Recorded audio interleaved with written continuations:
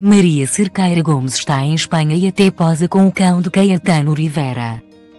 Maria Cerqueira Gomes e Caetano Rivera estiveram há pouco tempo juntos numa das cidades mais românticas do mundo, Veneza.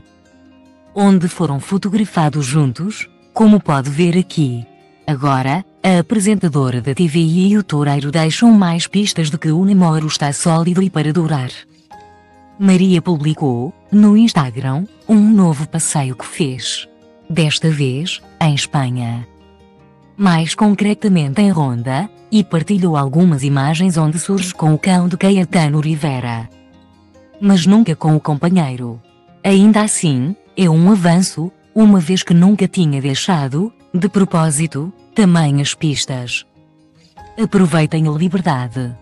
Todos os dias, escreveu na legenda das imagens, que indicam que a apresentadora da TVI está em Espanha para apoiar o namorado. Que vai atuar na Feira de Sevilha no próximo sábado, dia 29 de abril. Veja aqui as imagens.